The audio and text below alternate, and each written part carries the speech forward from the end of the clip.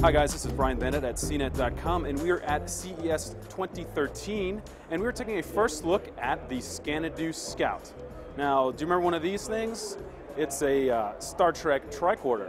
Now, this isn't a real device, but this Scanadu Scout is essentially supposed to be a medical tricorder, basically a mobile uh, thermometer that's super high tech and uh, will replace your old you know, analog thermometer at home. So you just stick it right here on your temple, wait 10 seconds, and after that, you basically get uh, readings for all sorts of uh, health stats. So you get uh, not only your temperature, but you also get your uh, blood flow, your blood oxygen level, your heart rate. Once you get all this data, you can send it to your mobile device. That would be either an Android handset, your iPhone, or a Windows phone, smartphone. So basically, what you do with this, you can take a look at this data, you can see it online, you can track it over time. Uh, basically gives a whole uh, recording of your health that you can take to your doctor to prove, you know, maybe you feel fine or something like that.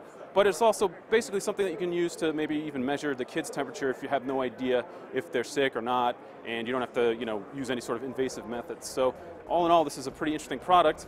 Uh, as far as availability is concerned, um, it's still undergoing uh, FDA review, but uh, we're told it'll probably cost uh, 150 and hopefully be available by the uh, maybe the end of the uh, third quarter or fourth quarter this year. I'm Brian Bennett, and this has been a first look at the Scanadu Scout.